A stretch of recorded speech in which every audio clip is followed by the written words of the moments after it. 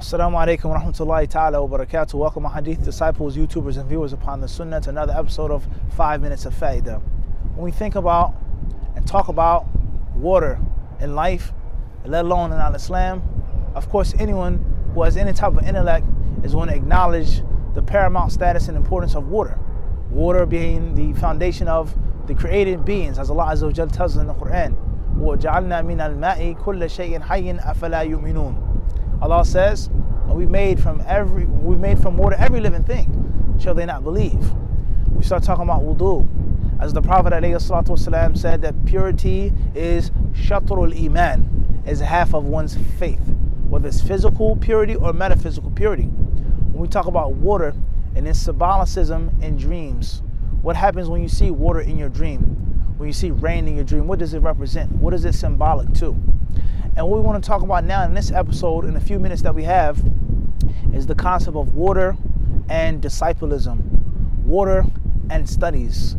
We know that water can be soft and it can be hard. We know water can sit still and it can flow. It can rush forth, it can gush, it can pour forth. It can be violent and it can be calm, peaceful, and serene. We know water can be clear, you can look right through it, or sometimes it may take a green tinge or blue tinge or depending on where you are and depending on what type of body of water it is fresh water salt water it may be uh, a coral reef and the list goes on. The concept of how water is uh, soothing to listen to to look at.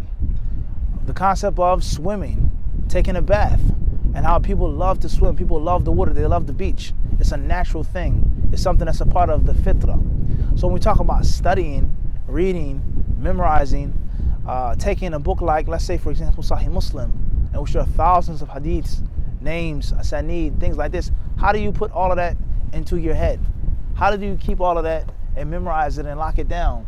One of the reasons, in my humble opinion, is to relax. Is to let it flow naturally, just like the water does. The water doesn't think. It does what Allah created it to do.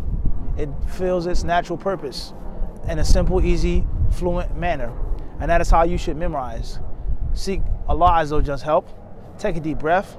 Calm down, relax, Bismillah, and start memorizing. When you study, when you read, without the concept of memorizing, just let it flow. Don't always think about getting everything and understanding everything and writing it down and jotting it down, but just let it flow like the waves do. Calmly, simply, and peacefully. When you start thinking about uh, what you're reading about, the subject and the topic, and you talk about the depth of the water, it look, some parts obviously they appear and they seem deep, but others may look shallow. You walk or walk and next know it's deep. And that's how knowledge is. From one thing, learn 10,000 things. One basic principle can lead you to 10 principles.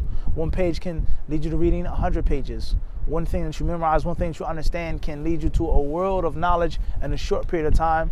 You never ever may think that you're possible, but oftentimes you hold back yourself. You hold back yourself instead of just flowing and let it be natural, let it be calm. Also, when we talk about speaking, many people, many students of knowledge, they complain about public speaking, about giving a khutbah, about giving a class. I stutter. Or some people they'll say, uh, I'm not a good speaker, or uh, I don't sound as good as you, Mufti, or whatever. Many people they come and they say these things to me. Oftentimes it goes back to the water. Let it flow naturally. When you talk, talk from your heart. When you give the khutbah, give the khutbah to yourself. Many times I've done khutbahs and people they come up to me and they said, Well, I thought you were talking to me.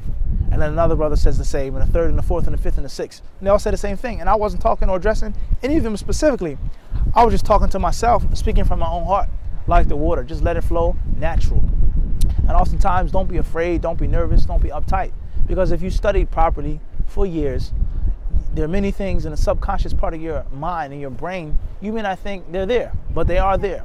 And we start talking, then in that time you start flowing, just like water. Last but not least is what we always say to learn the form, but to seek the formless. And that's the concept of water. Whatever you put it in, however you hold and carry water, it's what it becomes. You freeze it, it turns into steam. It has no basic form, and that's how your mind should be. And that is one of the most important pillars of Hadith disciple is that there is no form. Wassalam.